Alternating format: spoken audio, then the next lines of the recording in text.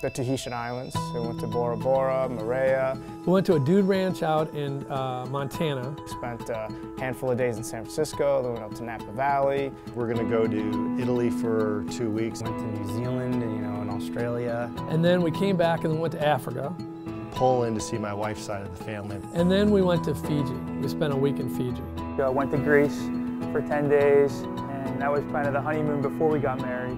Sabbatical program is great. Every five years, ARCO kicks you out the door on a uh, four-week paid vacation. Great chance for people to sort of to, to unwind and to be able to take some time off and totally disconnect from the organization. We did 10 days in uh, Hawaii and California. It's a 30-day uh, kind of your vacation. You lock your computer up, put your cell phone down, kind of walk away from the office. Loaded up the motorcycle, spent uh, 30 days out in the Rocky Mountains motorcycling and backpacking by myself.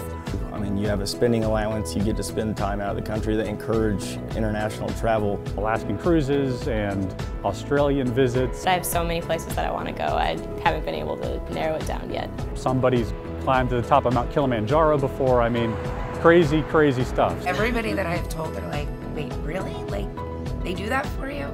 And it just makes me want to work till I'm 70. That way I can get more sabbaticals in. So. it's, it's one of those things that I don't think you find many other places. How in the heck could you afford to do that with a job? And, well, it's kind of part of my job. I've always wanted to go to Italy, so that's probably what it's going to be. totally refreshed, rejuvenated, and it's like starting over a little bit. Yeah, it's not too bad. My wife enjoyed it quite a bit.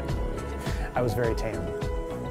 The places people are gone, it's unbelievable what they've done, and, and it's just it's just a game changer. It really is a game changer.